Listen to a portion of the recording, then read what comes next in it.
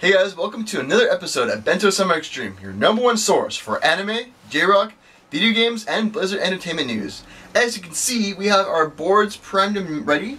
This is our anime board and our video game board. So this video is a segment for Anime. and J-Rock. Without further ado, let's jump right into Brian's hot anime news for this week. So this week is SakuraCon going on from Friday to Sunday, so it's going on today. So if you're in Seattle, you must be enjoying your con right now, probably. Um, Crunchyroll's there, a bunch of other major, um, pretty much industry guests are there, so impressing. So guys, go look at it if you're in the Seattle area, and if you're a beginner, go look at it. It's awesome. Always going to a different con. Next of all, um, Shonen Jump from Japan, not America, has a camera app that you could make a magazine cover for themselves. Um, pretty much, you take a picture of yourself, you change the color into more of a manga-looking color, and you get all different apps for like 250 different types of like things you could put on the background. Naruto, name it. And if you pay an extra dollar or 85 yen, you could actually get another thousand of it. So it's pretty cool.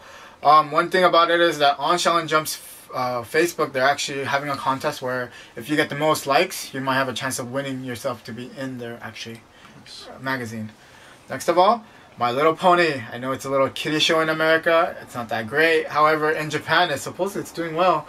This Tuesday, they're actually gonna do a showing on on anime, and they're creating a manga for it. So it looks like they always do the kitsy stuff better at in Japan, actually. So that's it for anime news. What's going on in J Rock? Guys, we have some really interesting news for J-Rock this week.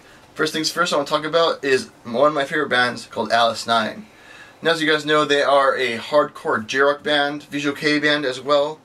Um, instead, they came out with a new album entitled Daybreak.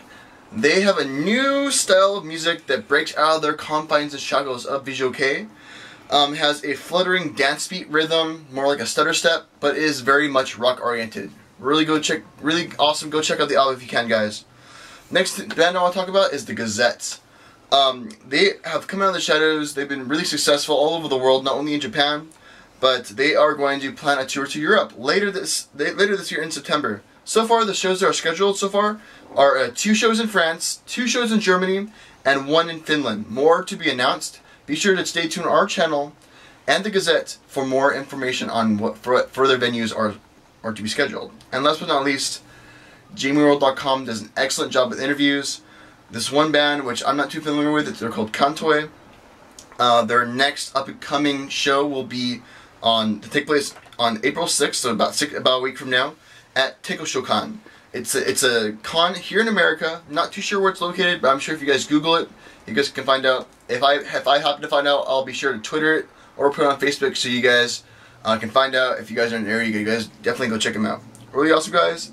That's all the news that we have for this week for Anime. and J Rock. Be sure to always subscribe to our Facebook, subscribe to our Twitter, and make sure to um, also go on to our website and check out what kind of amazing things that we have.